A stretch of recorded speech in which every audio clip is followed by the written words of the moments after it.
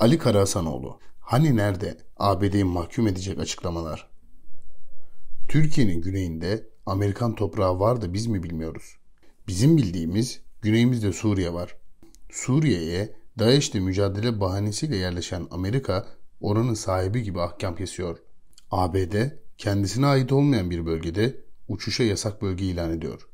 Sonra Türkiye'ye saldırı düzenleyen iki teröristin bağlantılarını etkisiz hale getirmek üzere meşru müdafaa hakkını kullanan Türkiye'nin siyasını o bölgede kendisine fazla yaklaştığı gerekçesiyle düşürüyor. Silahlı insansız hava uçağı, adı üstünde, içinde insanımız yok. Zarar mala gelsin demiş atalarımız. Biz güçlü olursak o zararı da onları ödetiriz. Eski yıllardaki gibi bir tane İHA için, bir tane SİHA için ne Amerika'nın kapısında ne İsrail'in kapısında beklemiyoruz. O günler çoktan geçti. Artık kendi İHA'mızı, SİHA'mızı yapıyoruz elhamdülillah.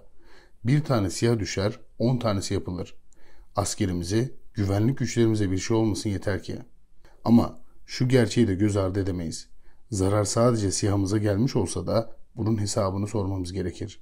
Hele hele NATO üyesi olan iki devletin birbirine yardım etmesi gerekirken tam aksine Türkiye saldırı sonrasında meşru müdafaa hakkı kullanılırken NATO üyesi diğer devletin SİHA'mızı düşürmesi asla kabul edilemez bir sözleşme ihlalidir.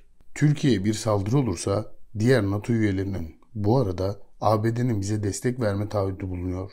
Aynı şekilde ABD'ye saldırı olduğunda da NATO üyesi olarak Türkiye'nin bu ülkeye destek verme taahhütü bulunuyor.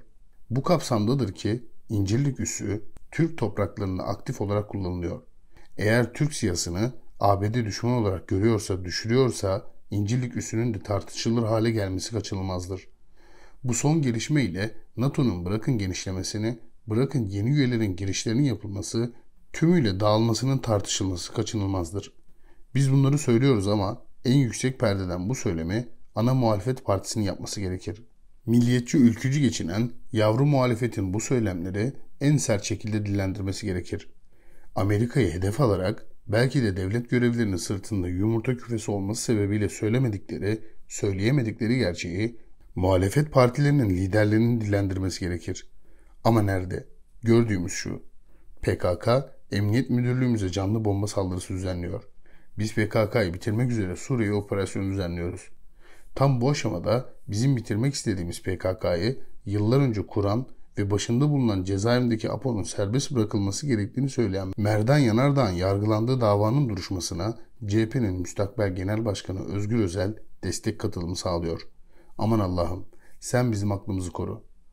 Biz PKK'yı bitirmeye çalışırken bu yolda ABD ile bile kavga ederken SİHA'mız düşürüldüğünde ABD üzüntüsünü dile getirmek zorunda kalırken Dışişleri Bakanımız hemen ABD Dışişleri Bakanı ile irtibata geçip bundan sonra böyle bir hatanın tekrarlanmaması gerektiği konusunda uyarısını yaparken ana muhalefet partisi genel başkanı adayı Özgür Özel PKK'nın başını tahliye ettirmek isteyen Merdan Yanardağ destek ziyaretinde bulunuyor. Gerçekten aklın iflas ettiği, mantığın bittiği, siyasetin iflas ettiği bir nokta burası. Bu ülkede 50 bin insanın kanına giren terörist başı Apo lehine Türkiye'nin adil yargılama yapmadığı iddiası ile tazminat ödenmesi gerektiğine dair karara imza atan Avrupa İnsan Hakları Mahkemesi eski yargıcı CHP eski milletvekili Rıza Türmen'e gerçekleri hatırlattım diye Türkiye Barolar Birliği hemen bir açıklama hazırlayıp bana eleştiriler yönelttiler. Ama ABD'nin bir sığımızı düşürdüğü gerçeği karşısında Türkiye Barolar Birliği'nde de barolardan da tek bir açıklama duymadık. SİHA'mızın Rıza Türmen kadar değeri yok muydu ki? Teröriste tazminat ödensin kararını veren adamı savunan barolar şimdi siyasi düşürülen Türkiye'yi savunma sadedinde iki satırlık bir açıklama bile yapmadılar. Baro başkanları hukukçu kimlikleriyle toplanıp NATO şemsiyesi altında bir devlet Türkiye'nin SİHA'sını düşürmeye kalkıyorsa bu sözleşmenin bittiğinin göstergesidir. NATO derhal toplanıp bu pisliği temizlemelidir açıklaması yapacaklarına olayları uzaktan seyretmeyi tercih ediyorlar. Hukuk fakültelerinde kürsü sahibi profesörler ve sözleşmelerin ihlali açısından olayı, konuyu yorumlayarak ABD'ye uygulanması gereken müeyyedileri açıklamaları gerekirken özellikle AK Parti iktidarına laf yetiştiren profesörleri kastederek söylüyorum. Hiçbirisinden bir tane açıklama duymadık. Dış işlerini yıllarca yabancı hegemonyasında yönlendiren konserlerse adeta her biri ayrı bir deliğe saklanmışlar. İşgal altındaki Karabağ kurtarılmak için Azerbaycan operasyon başlattığında Türkiye Azerbaycan'a İHA satıyor. Bu sebeple Türkiye, Uluslararası Ceza Mahkemesi'nde yargılanabilir tehdidi savuran CHP'de danışmanlık yapan Ünal Çeviközler şimdi ortalıkta görünmüyor. Çıkıp meşru müdafaa hakkını kullanan Türkiye'nin siyasını düşüren Amerika, Uluslararası Ceza Mahkemesi'nde yargılanacaktır demiyor, diyemiyor. Siyasi iktidara her fırsatta sopa göstermeye kalkışan emekli amiraller, emekli generaller, özellikle NATO'da görev yapan Tayyip Erdoğan düşmanı emekli subaylardan da bir itiraz duymadık. Toplansanıza, Montreux için yaptığınız açıklamanın benzerini ABD yapsanıza. Biz sizinle şu kadar yıl birlikte Afganistan'da çalıştık.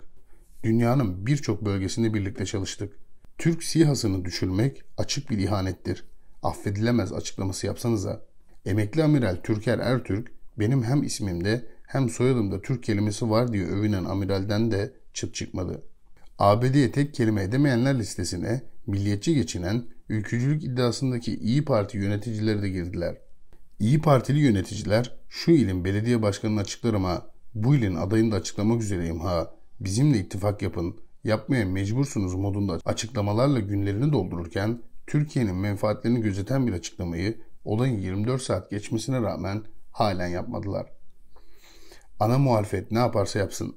Meslek kuruluşları Erdoğan düşmanı akademisyenler ne yaparlarsa yapsınlar.